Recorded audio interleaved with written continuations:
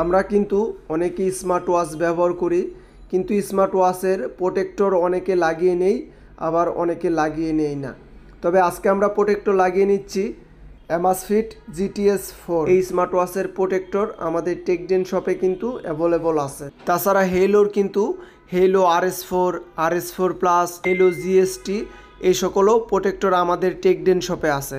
আমরা কিন্তু সবসময় বলি, যখন আপনি একটা স্মার্ট ওয়াচ ক্রয় করবেন অবশ্যই একটা প্রোটেক্টর লাগিয়ে নেবেন। কারণ আপনি যদি প্রোটেক্টরটা লাগিয়ে নেন, আপনার স্মার্ট ওয়াচের উপরে যে একটা স্কেচ খায় বা স্কেচ পড়ে, সেটা কিন্তু প্রোটেক্টর লাগানোর কারণে স্কেচটা আর পড়বে না।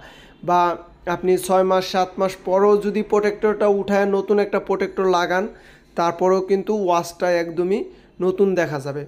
বা স্কেচ পড়বে না, কোনো স্কেচ পড়বে না। এর জন্য আমরা সবসময় বলি যে, আপনারা যদি নতুন একটা স্মার্ট ওয়াচ ক্রয় করেন অবশ্যই একটা প্রোটেক্টর লাগিয়ে নেবেন। তো আমাদের কাছে শুধু হেইলুই না অ্যামাসফিট বা নন ব্র্যান্ড বা ব্র্যান্ডের সকল স্মার্ট ওয়াচের প্রোটেক্টর আমাদের টেকডেন শপে অ্যাভেলেবেল আছে। তাছাড়া প্রোটেক্টরের পাশাপাশি আমাদের কাছে স্টাফ আছে বিশ এম এম বাইশ এম এম তারপর বিয়াল্লিশ বাই চুয়াল্লিশ এম এম বর্তমান অ্যাপেলের ক্লোন যে স্মার্ট ওয়াচগুলো বের হয়েছে। সেই স্মার্ট ওয়াচেরও স্টাফ আমাদের টেকডেন শপে আপনি পেয়ে যাবেন।